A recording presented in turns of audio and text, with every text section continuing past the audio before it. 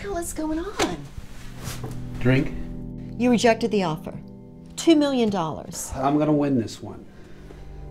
Do you really think that's what the family wants? Don't be stupid. Or too stubborn to settle. Settle? You know, that's a funny word. You know how many times I've settled? So much so it seems like winning. Everybody goes home happy, right?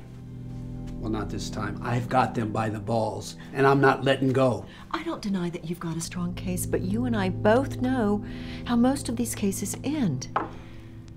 $2 million would go a long way. They didn't just take his leg, they took it all. Okay, okay, but winning is not going to bring his leg back or his scholarship. The money could help. You don't get it. $200 million wouldn't be enough. Look into that boy's eyes. He's a winner who lost everything because of them.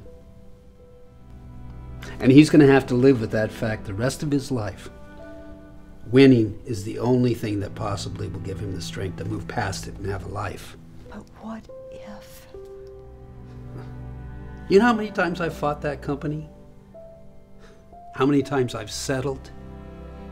I need to know that they can't hurt anybody else. I am going to keep going until I dismantle that company brick by brick and I put those smug bastards away.